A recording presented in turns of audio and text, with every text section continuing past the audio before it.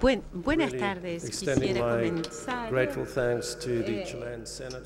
con mis más sinceros agradecimientos al Senado de Chile, al senador Girardi, y eh, gracias por la invitación de estar con ustedes hoy día, esta tarde. Es un gran honor presentar esta charla a ustedes hoy, pero también mis, eh, mis agradecimientos al pueblo de Chile por su esa cálida hospitalidad que ha sido extendida a nosotros durante eh, esta visita a este bellísimo país.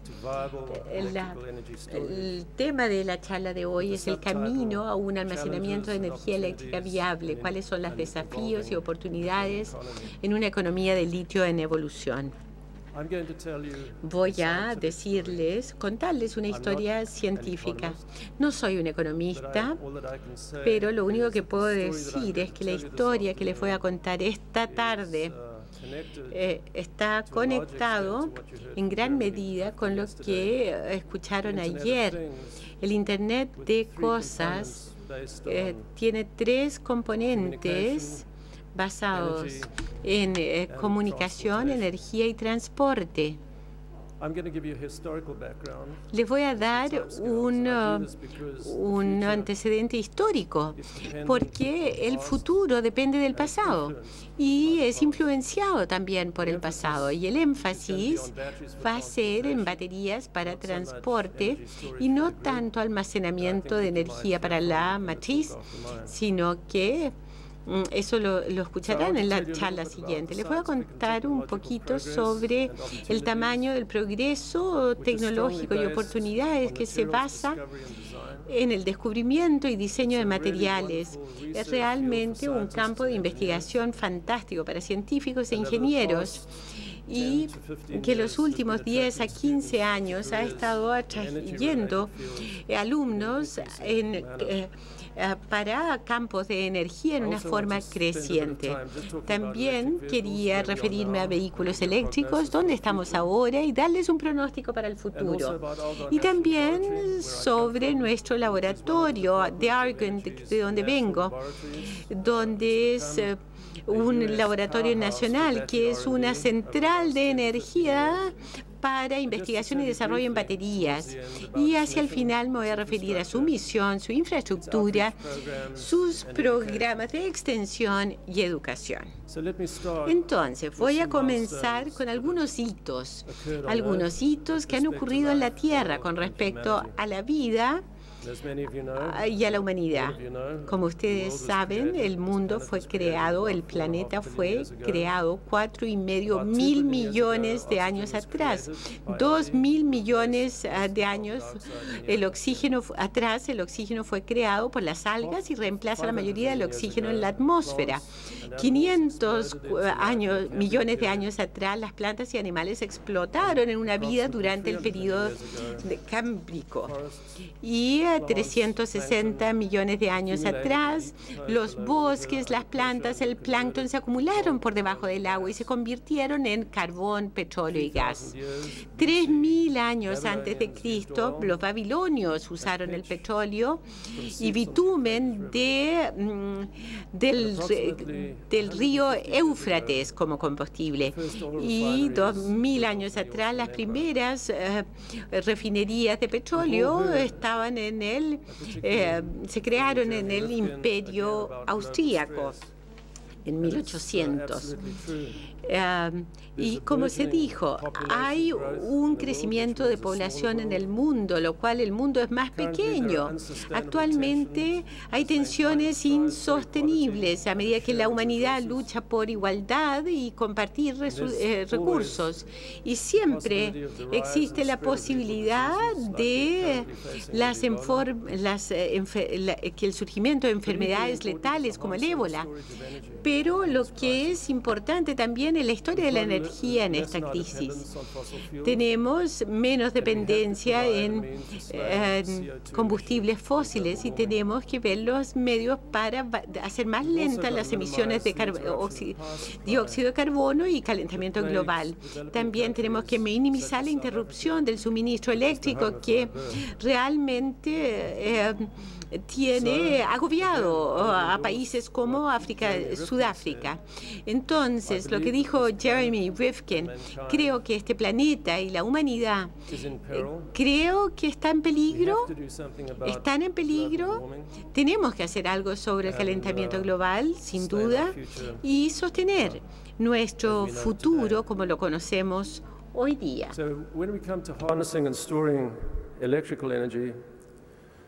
There's promise for this 21st century. One is the hydrogen economy, hydrogen storage, which is being directed towards fuel hidrógeno que está dirigida hacia el desarrollo de células de combustible que vamos a hablar hoy día, pero la economía del litio, el almacenamiento del litio y las baterías de litio.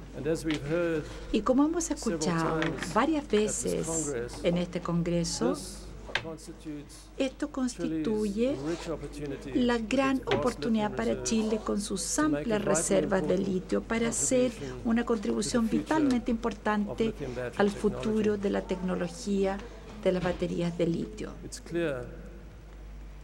Está claro que el momento para actuar ya llegó. Se requirieron millones de años para producir el petróleo y sin embargo 150 años o un poco más para agotar la mayor parte de las reservas de combustible fósil. La reciente caída del eh, precio del petróleo a menos de 50 dólares barril no es importante en este contexto. Hay una necesidad urgente de desarrollar nuevas tecnologías para potenciar y almacenar la energía. Lo que me encanta, y tal vez coincide, es que importantes avances se están haciendo en la tecnología de las baterías en los últimos 150 años desde que se implementó la producción de petróleo a gran escala. Así que ahora existe la posibilidad de comenzar a revertir el proceso y llevar al planeta hacia una política de energía electrificada para reemplazar la dependencia de combustibles fósiles.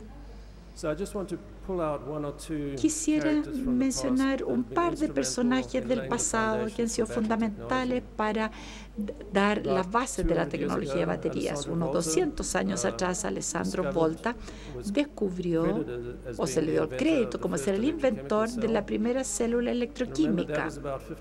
Esto fue como 50 años de que primero se comenzaron a construir las refinerías de petróleo. Su sistema era bastante simple. Él demostró con dos electrodos de metálico, uno de zinc y uno de cobre, cobre en ácido sulfúrico, que ahora se conoce como la pila voltaica. Tenemos oxidación en el electrodo de zinc y reducción de hidrógeno en el electrodo opuesto y en el proceso se genera una corriente eléctrica. El segundo hombre que yo quisiera recordar es Michael Faraday, que siguió los pasos de Volta, tenía pasión por la electricidad. Fue profesor de química en la Royal Institution en Londres. en los 1850 y él estableció las bases para el electromagnetismo, la inducción electromagnética y las leyes de electrólisis y estableció las bases para los usos de la electricidad los motores eléctricos. Estoy seguro que no le sorprendería ver el nombre de este hombre, Thomas Edison, que era gran admirador de Michael Faraday, un inventor americano prolífico, más de mil patentes a su nombre, fuertemente involucrado en su propia pasión de energía eléctrica y con desarrollos significativos y contribuciones significativas a este campo. El bulbo incandescente probable es lo que más se le recuerda. y la, la el filamento carbonizado y una planta de generación de electricidad para permitir la iluminación de las calles en Nueva York. Edison conoció a un joven Henry Ford a fines del siglo XIX, cuando los primeros vehículos eléctricos eran activados por pilas de ácido plomo que podían trabajar entre 40 y 80 millas de esa época, que se consideraba rapidísimo. Pero en esa época Edison ya tenía sus dudas sobre la electricidad para los vehículos, porque le dijo a Henry Ford, y cito, mira joven, esa es la cosa, tú la tienes siguen ello. Los autos, todos eléctricos, deben mantenerse cerca de las plantas de energía. La batería de almacenamiento es muy pesada. Los autos a vapor no van a funcionar porque requieren una caldera y fuego. Tu auto se contiene a sí mismo, no tiene fuego, no tiene caldera, no tiene humo, no tiene vapor. Tú lo, le acertaste, sigue con ello. Y tuve la razón, en 1922 los vehículos eh, eléctricos ya se dieron camino los de combustión interna. Entonces la pregunta es, ¿este consejo sigue siendo relevante hoy día? ¿Y van a haber cambios reales de aquí en adelante? Este era el cuadro de la tecnología de baterías recargables durante la primera crisis del petróleo a mediados de los 70. Las únicas dos baterías reales con la de ácido plomo y de níquel cadmio que funcionaban con electrolitos se está desarrollando nickel zinc a principios de los 20. Fue el año 67 con el descubrimiento de la compañía Ford Motor del primero conductor sodium superior con beta lumina, que inició la investigación internacional sobre temperatura, sobre baterías de alta temperatura en mediados de los 70. Azufre del sodio, eh, se está desarrollando esta tecnología en la época, al igual que un análogo de litio y sulfato ferroso en Estados Unidos. Este es el escenario hoy día. Increíbles avances se han hecho en unos 40 años. Todavía vemos plomo ácido, cadmio, sistemas basados en agua, eh, níquel, hidrido metálico.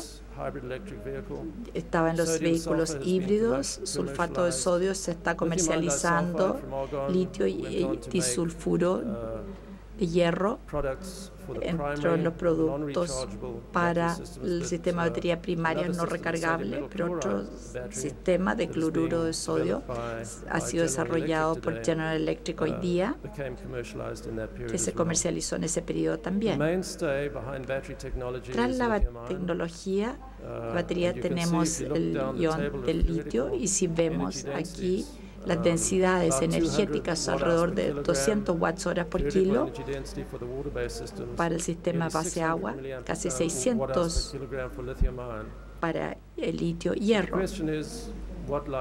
Entonces la pregunta es qué hay adelante y tres sistemas por debajo de esto son en litio metálico y ánodos. En la energía teórica, nuevamente, ahora podemos ver este salto a 900 watts por hora por kilo para el sistema de litio polímero, 1200 watts hora por kilo para el litio sulfuro, 3500 y 5300 para los sistemas basados en litio oxígeno. Ese es el futuro que muchas instituciones están trabajando en este momento.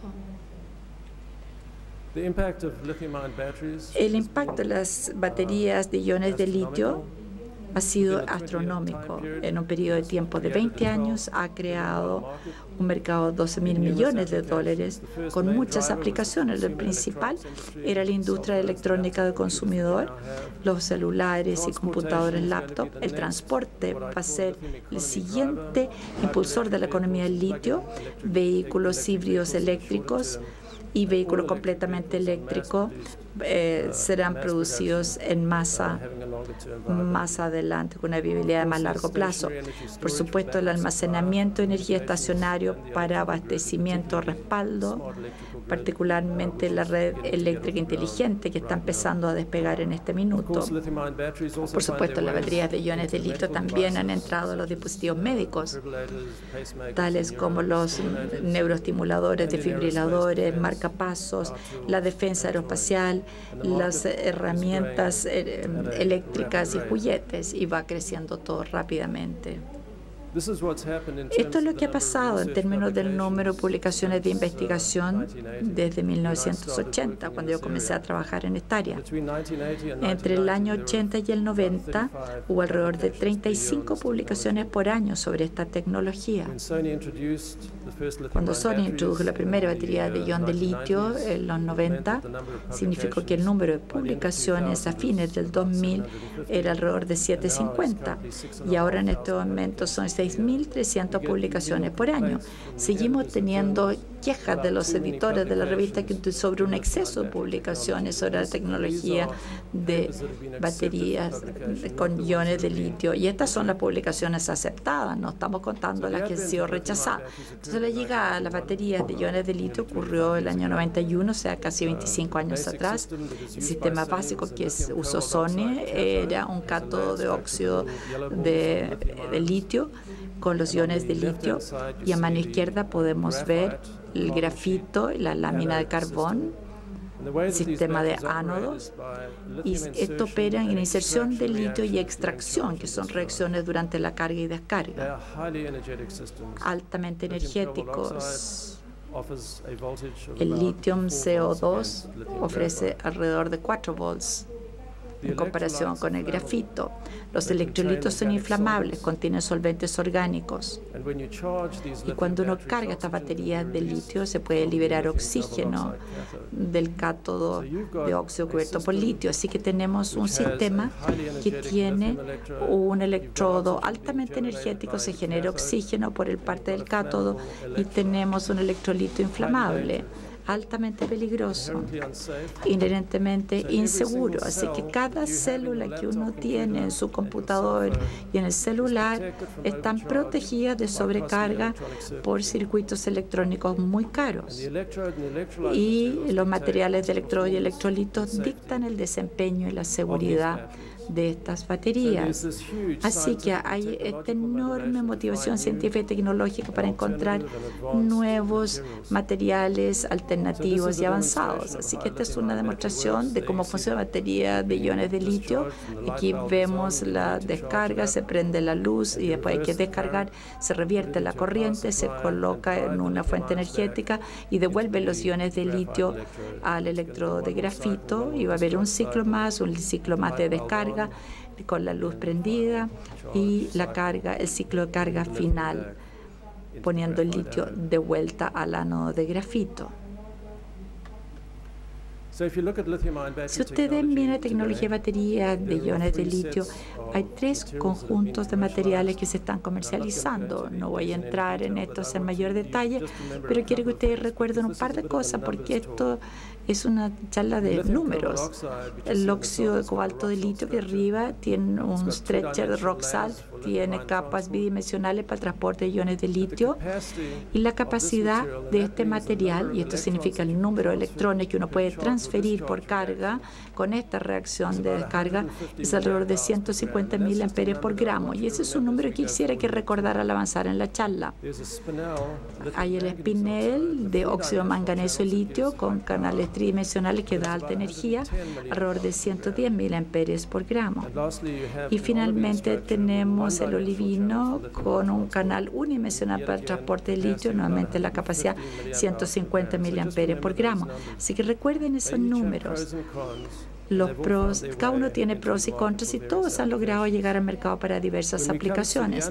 Cuando llegamos al material de los ánodos, el carbón y grafito, el que describí antes, ha sido el caballo de trabajo para baterías de iones de litio y opera muy cercano al potencial de, eh, que, que es altamente reactivo se necesita protección de la superficie, tiene capacidad moderada de 372 miliamperios por gramo. En el otro extremo, si acaso uno realmente quiere ir a un sistema muy seguro, uno mira al espinel del litio titanio que funciona a 1.5 voltios contra el litio, lo que significa que la energía cae porque tiene bajo voltaje, también tiene baja capacidad, pero es electrodo de muy alta potencia. La oportunidad para el futuro. Está en esta familia de compuestos de metales y compuestos intermetálicos como silicio, que tiene una gran cantidad de atención hoy día, tiene una capacidad alrededor de 4.000 mAh por gramo. El silicio y los metales son densos. Entonces, cuando el litio se inserta en estos materiales en una gran expansión volumétrica y las partículas se rompen y se pierde con conectividad electrónica.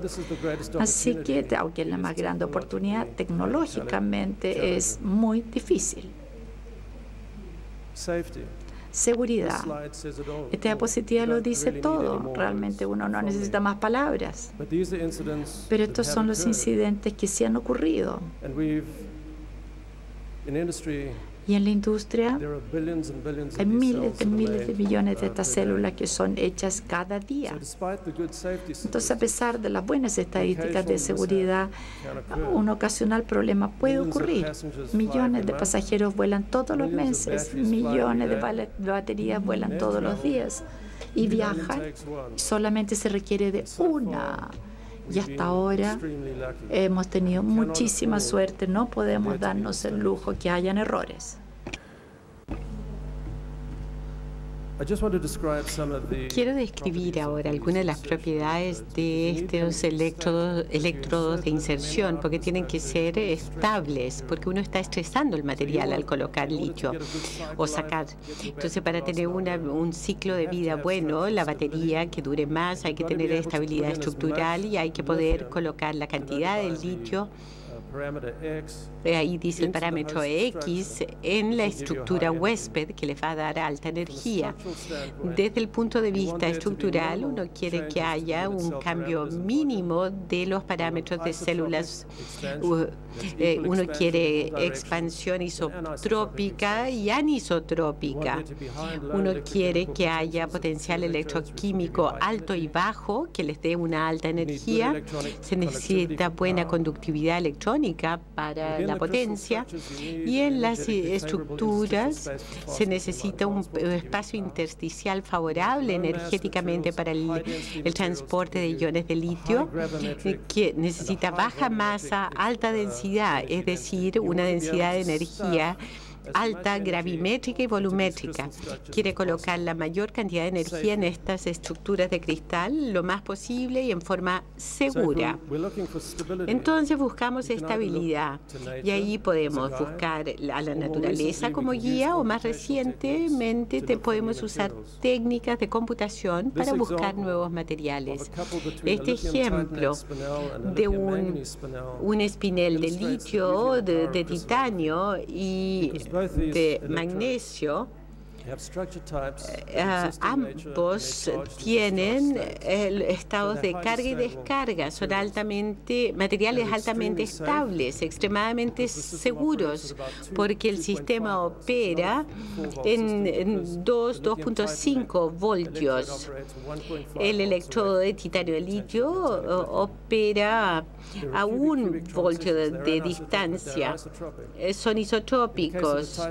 En el caso de titanio hay cero expansión, en manganeso hay 8% de extracción mm, y 8% de contracción. Hay un espacio tridimensional para la difusión del ion de litio y hay electrodos de alta potencia. Esta tecnología de Spinel ha sido usada en, en vehículos eléctricos híbridos y todos los vehículos eléctricos de Nissan y de Mitsubishi. Pero el rango es restringido. Entonces los materiales de alta energía tienen que desarrollarse para extender la gama, el rango de estos vehículos. Estos son sistemas ideales para el almacenamiento de energía para aplicaciones como la matriz inteligente. Los principales desafíos, entonces, desde el punto de vista de materiales, es que hay que mejorar la energía y la seguridad de celdas, celdas de iones de litio sin comprometer la potencia. Hay que suprimir la liberación de oxígeno de los cátodos de óxido eh, metálico a altos voltajes, como compuestos basados en manganeso. Hay que encontrar la forma o encontrar nuevos ánodos que proporcionen alta capacidad, alta potencia, y hay que eh, estabilizar las superficies de electrodos y encontrar, explotar las partículas de electrodos de tamaño nano. Y tenemos que finalmente encontrar electrolitos no inflamables alternativos. Ahora, diseñando esta, estos cátodos, cátodos. La estrategia que vemos ahí a la izquierda es estructuralmente compatible con óxido carbono de litio e integrar a nivel É, ele, ele, ele, ele, ele, ele, 3 con el LIMO2 y así suprimir la evolución de oxígeno en la superficie de partículas de electrodos cargados. Y esto, este foco en sistemas ricos en manganeso nos permiten esa estabilidad y nos dan una ventaja. Sé que todo esto ha sido mucho, mucho muy técnico, pero es simple. Veamos.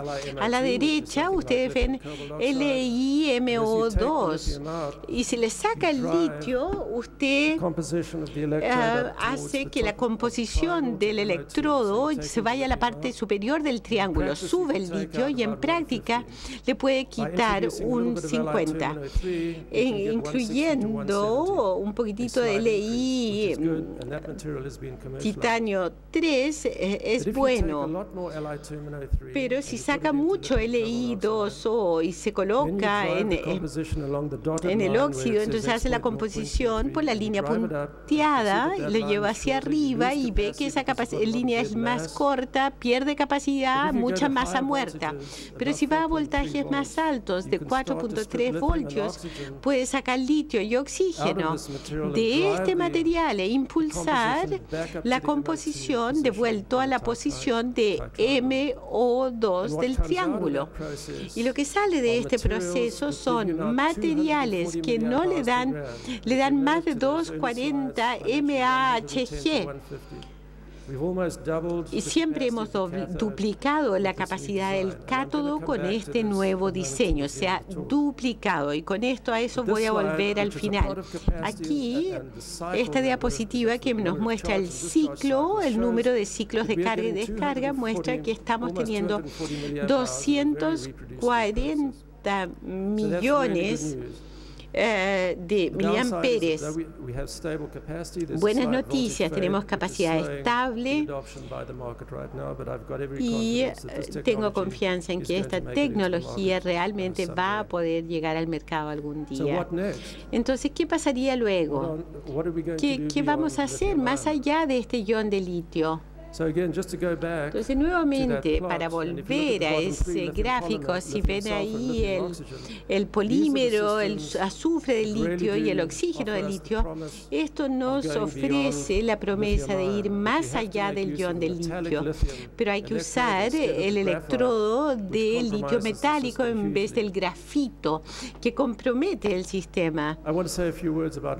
Algunas palabras sobre el óxido de litio. Um, Como verán después, esto es pensar un poquitito fuera de la caja, porque en la tabla ahí ven las reacciones entre el litio y oxígeno para darles el peróxido de, peróxido de litio.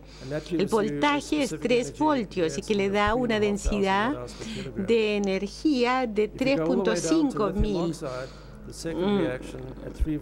Y si ven la segunda reacción a 3 voltios, tiene 5.380 por kilo. Y esto entonces es un salto enorme en las densidades de energía en estos sistemas. Es difícil bajar al óxido de litio porque se pierde el enlace, eh, se rompe el enlace con oxígeno. Yo ya les... Eh, eh,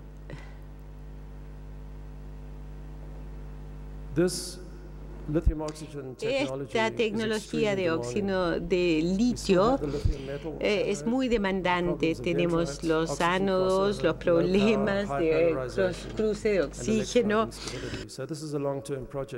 y inestabilidad de electrolitos. Es un problema de largo plazo, pero sí es y va a requerir de pensamiento lateral, o sea, fuera de la caja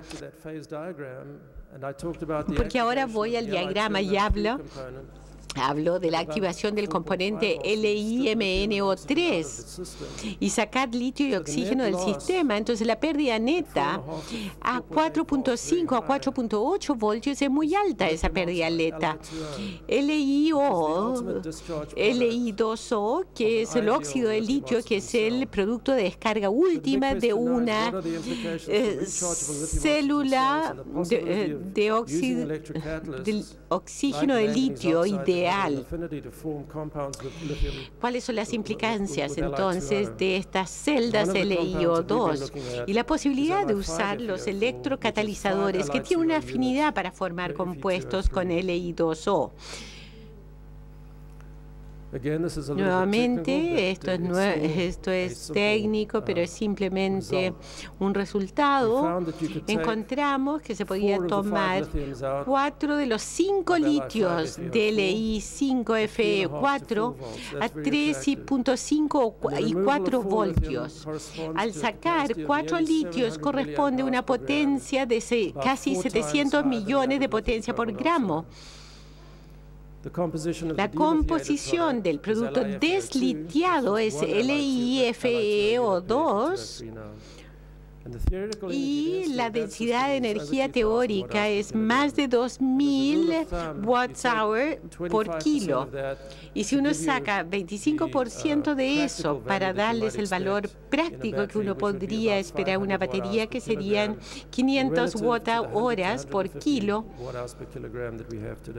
es eh, mucho menos de lo que, es lo que necesitamos hoy. Y si esta tecnología funcionara, sería un avance uh, enorme. Entonces, hacemos mucha teoría para apoyar el trabajo práctico. A la derecha, ustedes ven la reacción del litio 5FeO4 en la celda de oxígeno. Y si sacan el litio de oxígeno a 3 a 4 voltios, el, el sistema pareciera ser plenamente reversible. Y la teoría nos está ayudando para validar nuestros resultados experimentales. El experimento demuestra una reacción reversible entre LI5FeO4 y LIFeO2, que ocurre sobre un valor teórico y, y en 2.6 voltios. Pero la belleza de esta idea es que en principio todo el litio, todo el oxígeno y todo el óxido de, eh, de hierro requerido para una reacción se está contenido en la estructura de óxido de hierro y litio en la estructura original. Y no eh, sin embargo, todavía hay que superar muchos problemas, pero el enfoque ha abierto nuevas puertas para explotar la electroquímica de oxígeno no acuosa. Eh, vehículos eléctricos, ¿dónde estamos ahora? Algunos de ustedes recordarán la película, ¿no es cierto? ¿Quién mató el auto eléctrico? En los 90, General Motors introdujo el EV1 después de el impacto del auto de concepto eléctrico de 1990. La energía es con baterías de un híbrido metal de níquel. Y la razón, bueno, hubo un decreto de por el, el directorio de California en cuanto a la producción de eh, y venta de vehículos de emisión cero. Ese programa fue un poquitito desastroso. Se dejó continuó en el 2002. Solo 800 vehículos fueron arrendados en cuatro años y costaron 4 mil millones de dólares. General Motors em, ha, vuelto a hacer un compromiso con eh, los vehículos eléctricos y entonces produjeron el Chevy Volt, que es que tiene un motor a gasolina de cuatro cilindros y que se carga la batería cuando se agota y se extiende el alcance. Es un vehículo eléctrico de alcance extendido, ERV, y usan las baterías de iones de litio con ánodos de carbono y cátodos de, eh, combinados con un espinel y un material eh, en capas. Es el, eh, fue el auto del año en 2011.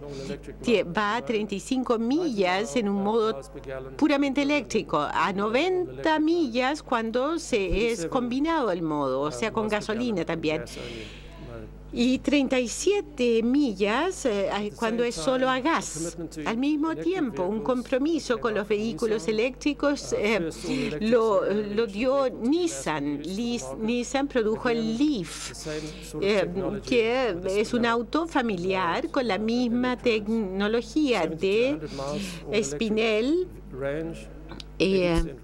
baterías de iones de litio y ah, eh, su rango, su alcance es 70 a 100 millas, eh, siendo puramente eléctrico y 80% de recarga en menos de 30 minutos.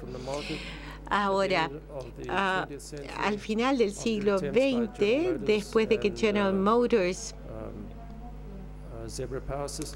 eh, y, los eh, sistemas Zebra en Sudáfrica retiraron ellos sus vehículos eléctricos del mercado porque no había infraestructura para sustentar la tecnología. ¿Qué ha pasado en la última década o más? Es que esta insurgencia de nuevos vehículos que, que son eh, híbridos eléctricos o eléctricos 100%, incluyendo el Tesla. Y aquí eh, eh, se está haciendo un excelente trabajo aquí. El problema es que el auto vale 70 mil dólares hasta 100 mil dólares. Es un mercado muy caro y muy, muy exclusivo, que puede llegar a 265 millas, un poco más. Y, hay una ingeniería aerodinámica ahí que reduce eh, la fuerza sobre las ruedas, sobre los neumáticos. Entonces, eh, no hay duda que el mercado está creciendo, a pesar de lo que uno escucha en los medios de comunicación, de que los vehículos eléctricos están en problemas. No, no, no. El año 2000 eh, eh, había 100, hoy día cada tres meses hay 10.000 vehículos. Ahora, lo interesante es que los vehículos eléctricos híbridos que se conectan crecen más rápido, pero los híbridos como el Prius, que se han diseñado para ser combinados con eh, y que haya ahorro de combustible durante la aceleración. Eh, estos han crecido menos. Eh, ahora quiero cambiar de tema porque hemos hablado de mercados muy exclusivos, y es decir, eh, que dar energía a las comunidades rurales. El problema de cerrar la brecha de inequidad entre quienes tienen y quienes no tienen. Centenares de millones de personas han tenido acceso a la electricidad a lo largo de las últimas dos décadas, particularmente en países subdesarrollados como China y la India. 1.300 millones de personas, que son 18% de la población mundial, siguen todavía sin acceso a electricidad. Casi 97% de aquellos sin electricidad viven en el África subsahariana y en el Asia en desarrollo. El almacenamiento de energía está siendo está teniendo un impacto realmente significativo en estos países en desarrollo. Las comunicaciones eh, generadas por batería conecta el mundo y le permite compartir los avances hechos por la técnica de almacenamiento de energía hoy día. Uno cada tres adultos que tienen un celular en Kenia, la telefonía móvil tiene un impacto económico y social enorme que cuesta de entender si uno está acostumbrado a vivir en un camino que tiene buenas, buenos caminos, tiene democracia, tiene internet. Y no es solamente comunicación, es educación, es salud, es cohesión familiar, es preservación de la naturaleza. Hay progreso, pero también hay problemas. Yo vengo de Sudáfrica y vuelvo a Sudáfrica con, con bastante regularidad. Y este es un país donde ha habido un progreso económico muy rápido, con un aumento de la urbanización que ha ayudado a los programas de acceso energético, pero han colocado presión al abastecimiento de energía que es necesario para estas comunidades nuevas. El resultado es que hay apagones serios en Sudáfrica hoy día y, se va bajando, la, se va compartiendo mucho la carga. Si ven abajo a la derecha, ustedes pueden ver la desesperación que tienen algunas de las comunidades al que tratan de conectarse ilegalmente, pero a la izquierda también las casas de bajos ingresos subsidiados también están empezando a aparecer más en este país. Dos diapositivas sobre la misión de almacenamiento de energía eléctrica de Argón. Este es un laboratorio nacional cuya misión es utilizar eh, la impulsar tecnologías de innovación y demostración. Argon ha pasado realmente una central para la tecnología de baterías. Su base ha sido programa de investigación y desarrollo de baterías y tecnologías para vehículos. En los últimos 10 años la Oficina de Ciencias está involucrándose muchísimo en almacenamiento de energía, centros de investigación de energía de vanguardia y tenemos el Centro para Almacenamiento de Energía Eléctrica. y dos años atrás un centro de distribución de, almacenamiento de energía. eh, está manejando un programa para el sector conjunto de investigación en energía dentro de la comunidad Argon hoy día. tiene un programa que ha subido de 10 personas en los 90, ahora tenemos casi 300 personas. Tiene una política de extensión y educación. Argon involucra a los alumnos en ciencia, tecnología, ingeniería y matemática a través de programas de ingeniería en energía, medio ambiente y ciencia. Y también se comunica con países en desarrollo y con centros de estudio de almacenamiento de energía. Y quisiera volver a informarles a la alta gerencia de este Congreso con la esperanza de que podamos establecer una conexión con esta parte del mundo. El futuro está en la siguiente generación de alumnos y la conciencia de la importancia de investigación y desarrollo sobre almacenamiento energético, tanto a nivel de alumnos como profesores guía. Entonces, la tecnología de batería ha hecho dramáticas mejoras desde que salió la pila voltaica 200 años atrás. Se necesitan más avances para reducir el consumo de combustibles fósiles y reducir el calentamiento global. La tecnología de iones de litio es sumamente flexible y va a creer su impacto en, crecer su impacto en los mercados de batería. Sumamente versátil, tecnología estratégica, la química las baterías y voltaje puede ajustarse según la necesidad. Se ha hecho avances importantes en los últimos 10 años para desarrollar las baterías de iones de litio para vehículos eléctricos. No hay duda que las baterías de iones de litio también están destinadas a la red eléctrica. Después de la falla del EV1 y los éxitos del Prius de Toyota y la llegada del Chevy Volt de GM y el Nissan Leaf y el Roadster de Tesla, nos prometen una nueva era de transporte eléctrico. Y tal vez las baterías de oxígeno de litio son el máximo desafío de ingeniería y científico. Así que los dejo con esta cita bien conocida de Winston Churchill en la guerra. Dice, este no es el fin, ni siquiera es el inicio del fin, pero tal vez es el fin del inicio. Muchas gracias.